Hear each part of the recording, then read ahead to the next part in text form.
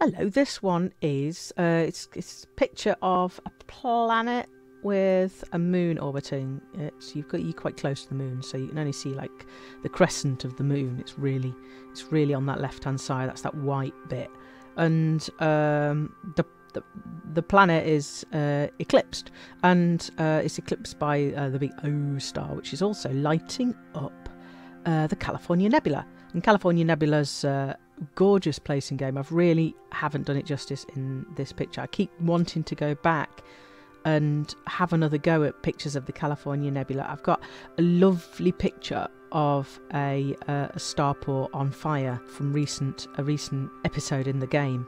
But this particular bit is, is just it's just to try and show the nebula itself and um, and and it's just nice to colour in all the different colours. I, I I really went to town and tried to show the lens flare on this picture because of there's so many different sort of uh, reflective bits of light coming out from different bits. There's uh, the in-ship cameras applied quite a bit of lens flare on it, so I, I tried to do those those little lights here and there.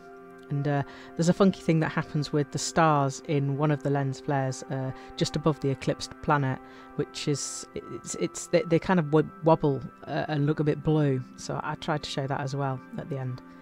Uh, yeah, no, the California Nebula's uh, not got that many people living there. Under a million people live in the California Nebula, but they've been there for quite a long while. There was uh, barnacles found out there a few years back, and then people went out there.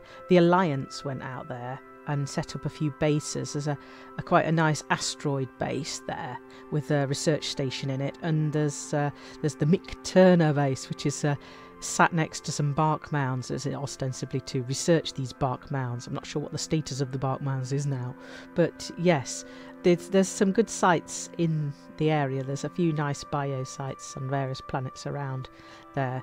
Uh, it's, it's what makes it so interesting. There's a few few bases there, but it's not in the bubble, so you can kind of go, it's go for a little jaunt and do the tourist thing. The uh, recent one of the one of the recent stories uh, brought you out here to California as the character Salvation uh, was this way, and you had to go to the Titori system, which is uh, not far from here. It's about halfway back. And there was a recent uh, expansion here as well by uh, Archon Delaine, and he had uh, quite a few new space stations set up around here as well. They just look fantastic. They really look. One of them got bombed, and that's the one that the flaming one I want to I think it was a California Freeport.